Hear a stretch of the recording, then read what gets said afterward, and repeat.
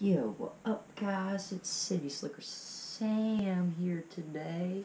We're gonna talk a little bit about how I'm gay. Cause I'm a city slicker.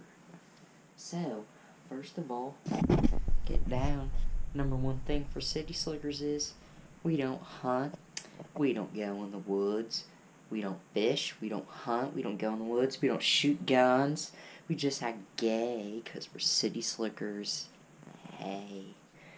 And, uh, we also, uh, are vegetarian. We don't, uh, believe in uh, all that shooting deer, and that's just not cool. You know?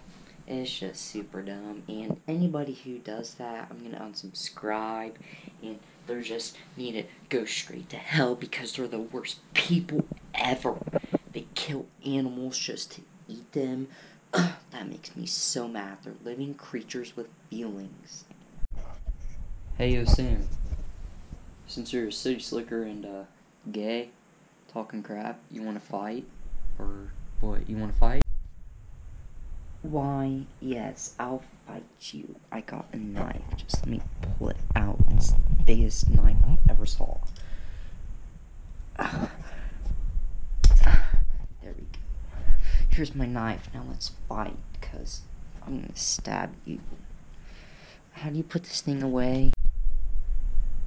Alright, you want a knife fight? Let's have a knife fight.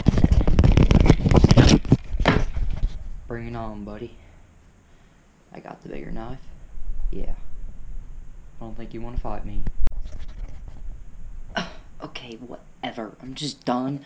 You use that knife to cut up deer, and how can you even do that to a living creature? It's just so nasty. Like, I never tried meat, but I heard that it, it, it just tastes so nasty, and ew, I'm just gonna go shopping. Bye. Alright. Bye. And, uh, yeah, so what I use this knife to cut up deer. Tastes good. Jerky that I make is the best, so you're missing out. Less for you. See you, gay. Stay away.